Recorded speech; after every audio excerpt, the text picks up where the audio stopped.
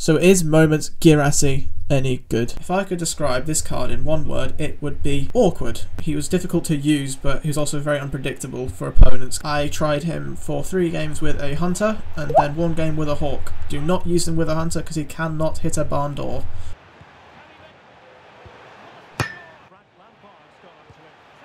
With a Hawk he was pretty good though. He has really good playstyles. Chip Shot Plus is trash, but every other playstyle has is really good. It's nice to have an aerial battle winner on him as well. That was quite noticeable in game. He did win quite a lot of headers. At times he felt really physical, which is nice, but he does struggle to keep control of the ball. So he won't let the opponent win it, but then you can't really decide what's going on either because he's not in control of what's going on himself, which was quite infuriating.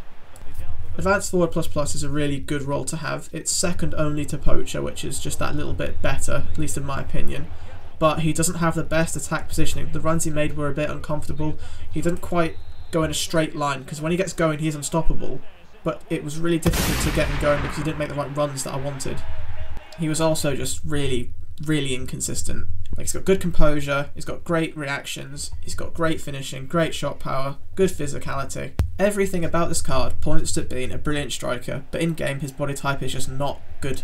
It's just awkward to use and it's uncomfortable to play with.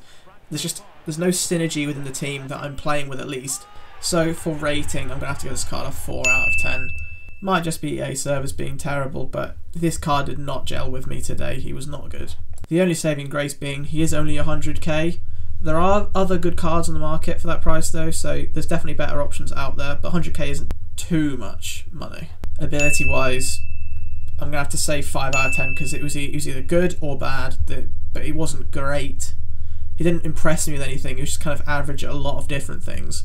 And this card is really, really hard to link. Unless you're loving Dortmund or the Bundesliga, he's not going to fit into your team very easily. That nation is really difficult to use. If you found this video useful, please leave a like, subscribe, and comment if you did actually do him. And if you did do him, did you manage to make him work? Because he's in my club now. So if I can make him any better, I'd definitely like to.